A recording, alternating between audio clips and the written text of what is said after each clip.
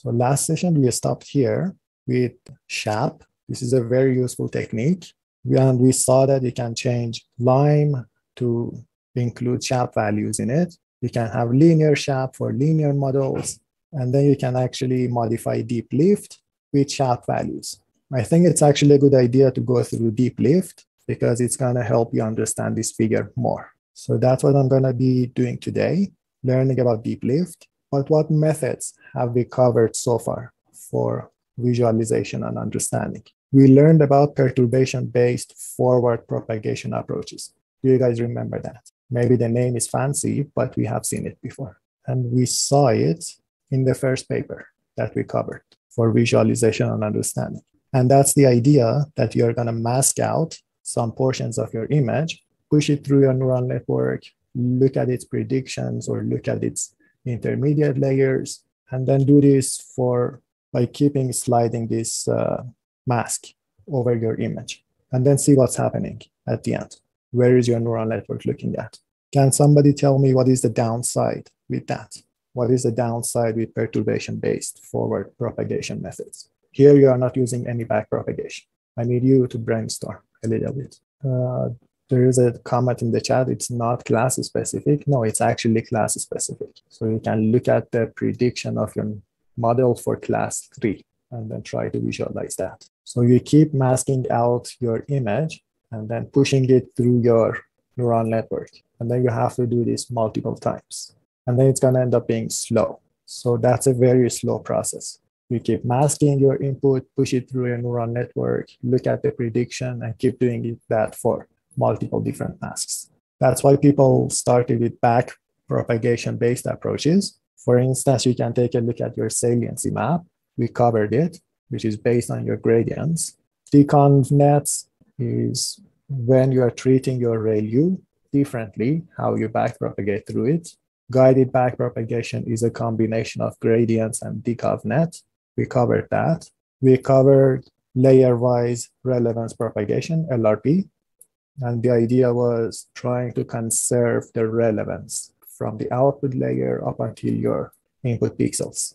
It turns out that LRP is equivalent to taking your gradients and then multiplying it by your input or your input minus a reference. If you write down the math, you're going to be able to see that. There is going to be integrated gradients. I'm going to be covering it next, so don't worry about it yet. We covered GradCam, and now it's time for deep lift. It's deep learning important features. That's where the name is coming from, deep lift. It's again based on back propagation, but what you are back propagating are not gradients, they are not relevances, they are differences from some references.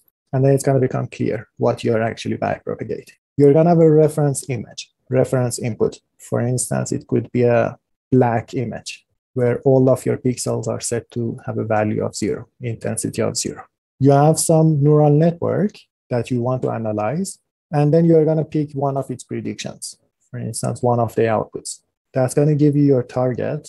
Let's call that T. T is a neural network on its own. And you can push images through it and look at it, the prediction, the score.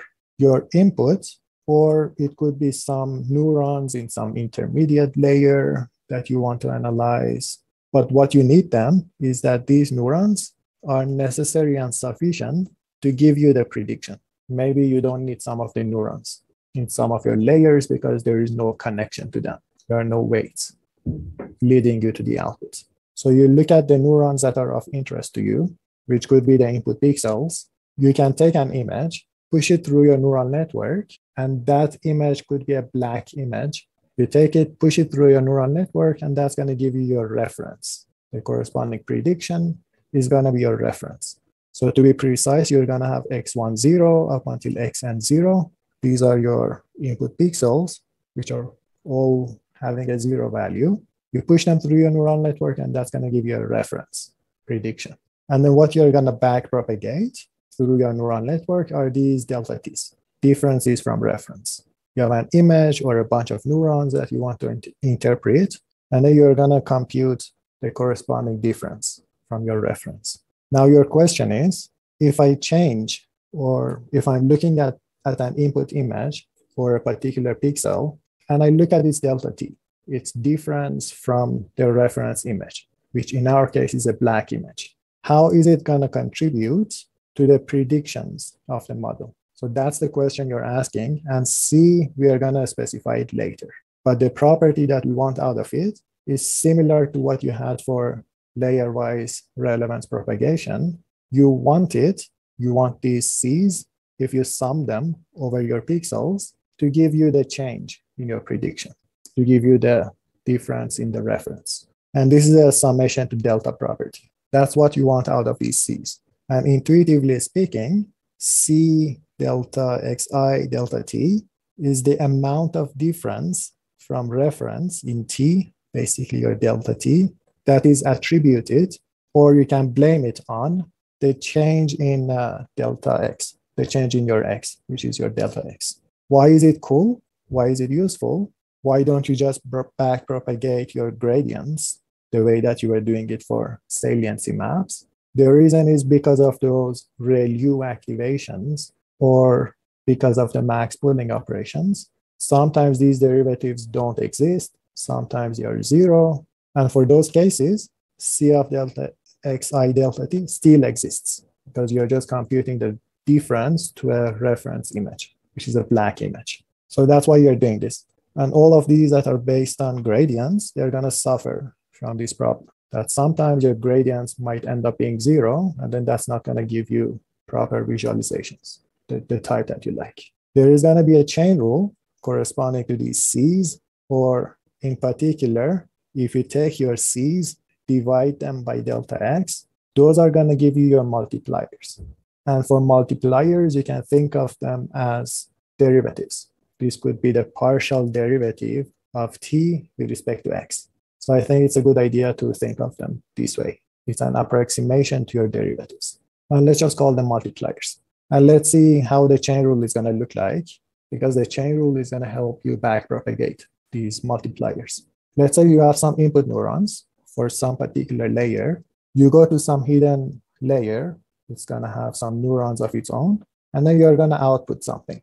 We can write down the chain rule, which is basically the derivative of t with respect to xi is equal to the summation over j over these hidden units of the derivative of t with respect to yj times the derivative of yj with respect to xi. So that's going to be the corresponding chain rule, and its formula is coming out of summation to delta property. Now that you have a chain rule, we can backpropagate these quantities. We can backpropagate these m's. And in the previous paper, these m, or your multipliers, were coming out of your SHAP values for each layer that you had. Here, they are coming out of these C's. And then we are going to specify what these C's are. For instance, if you have a linear rule or a linear layer, like dense or convolutional type of layers, we're going to have y is equal to b plus summation of wi's xi's. That's going to be your layer. If you take delta y, it's going to be b is going to cancel. It's going to give you the summation over wi's of delta xi's. Now we are trying to define what c is for a linear model, for a linear layer. And it's going to be wi times delta xi. And to make sure that it actually makes sense, it has something to do with your derivatives. We can divide this quantity by delta xi. That's going to give you your m of delta xi delta y, which is your multiplier. And that's basically your coefficient. So this is what you're backpropagating, and it makes sense. If you have a nonlinear layer like ReLU or tanh or sigmoid, it takes as input something, it's going to output something else you can use the summation to delta property, this property here, but then there is not going to be any summation because these activation functions are acting uh, element-wise. So one input goes in, one output is going to come out. So there's only one input. That summation collapses into only one change, only one C, and then you can use that to define your M. That's your C, that's going to give you the corresponding M which is delta y divided by delta x. And this is different from derivative. And this is also different from finite differencing because delta x could be huge, as the black image could be very different from the image that you're analyzing. And if you're close, you're going to go back and use your uh, derivatives because you are not allowed to divide by zero. You can actually use your gradients here. This is cool. And then you can actually extend this to the case where you can have positive impact and negative impact or contributions. You can have C positive, C negative. And then you can actually change the way that you're going to do your rescale rule. And you can call that reveal and cancel rule. For that, it's too much into the details. You can actually read the paper for them. Here, I'm more focused on the big picture and the idea. And then you can basically backpropagate these M's. Whenever you have a simple layer, you're going to backpropagate it. For instance, if you have a linear layer, you're going to use this rule to come up with your M's. If you have a nonlinear layer, you're going to use this M, and then you're going to backpropagate using the chain rule. Okay, so far so good. Any questions so far? So there is a question, why do we care about seeing what the activation is from the reference input? What layers could create non-zero activation from all zeros input tensor? So for that, the first one is a good question. Why do you care about the reference point? And that one I'm gonna answer in the next slide. But a quick answer is whenever we as human beings we want to do counterfactual analysis and we want to know what is the importance of something, we want to know the importance compared to a reference. And why, what is going to be a reference? A reference is going to be the case where we remove that particular factor. That's how we as human think. And it's the same thing here. You want to know how important a particular pixel in a particular image is. The idea is compare it to something. Compare it to the case when that pixel doesn't exist, which is going to be a black pixel or a black image. And that's why you use a reference. None of the previous methods were using a reference. A technical reason for why you would use a reference and why you actually look at deltas rather than your derivatives is because of how your nonlinearities are going to behave. For instance, your ReLU activation, its derivatives are going to end up being nasty. The other one is max pooling. Does that answer your question? And then there are actually examples in the paper that uh, they are just simple uh, designs, simple, very basic neural networks, perhaps one layer deep with perhaps one neurons or two neurons. And then it's going to tell you what's wrong with your derivative, what can go wrong, because your derivative is not going to exist or it's going to be zero. And then you're going to focusing on something in your input that doesn't really matter. You shouldn't give that much importance to it and give importance to some other feature. If you use derivatives, you are in trouble. If you use this, that's going to help you. But the reason I'm going through this paper is because these M's, how they are getting backpropagated and how it is related to SHAP values and how you can actually extend this. Okay, so far so good. I gave you a list of methods, gradient, DeConvNet, guided backpropagation, LRP, gradient times input, integrated gradients, GradCam, deep lift, SHAP. Now, your question is going to be this. Which one should I choose to interpret my model? Can you actually specify a single metric for me to understand which method is better than the other one? And the answer to that question is complex, and people are actually trying to answer that using some metrics. This is one of the metrics.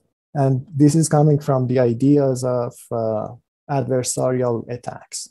We can have an image. It is being classified as class CO, as a particular class. Now, the idea is you want to identify a bunch of pixels and erase them according to their importance. And then I'm going to tell you what I mean by importance so that you can change the class from CO to a CT a target class. You can look at the difference in the scores for those two classes, and then you're going to try to erase up up until 20% of your image. How are you going to erase them and change them? You're going to change them according to their importance. And how do you set the importance? By this difference, because you want to change from CO to CT. You want to change your score. And then you can actually take a look at your evaluation. You can take a look at your logits, compare CO and CT for the images that is the original image and the image that is the erased image, and then see what happens. That's going to give you a metric, a single number to compare. And then you can start comparing gradients, deconvnet, guided back, pro, everything else. For instance, for this case, for deep lift, you can try to change 8 to a 3 by erasing pixels. This is going to give you the score corresponding to your original class. The score for the target class is this one. The target is a three. The current prediction is eight. And then you're going to remove these pixels. You're going to mask them out. And then you can see that DeepLift is doing a very good job. If you show this to a human, it's really convincing that yes, this is a three. You can do the same thing by changing eight to a six. This is a little bit less convincing, but still, it's not that bad.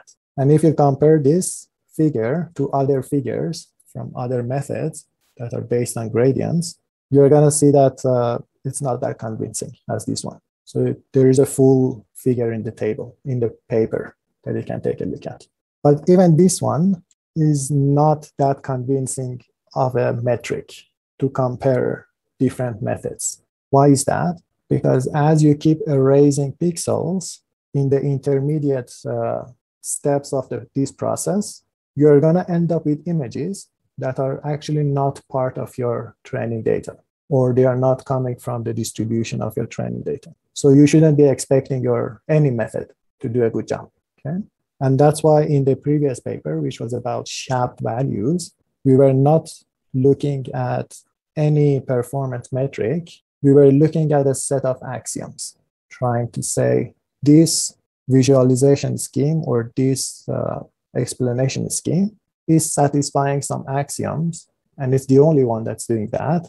And if you believe that those axioms make sense, then you can say that, okay, maybe something like SHAP is a good method. Okay? So it's an intermediate, uh, it's a compromise, trying to write down those axioms. Any questions so far?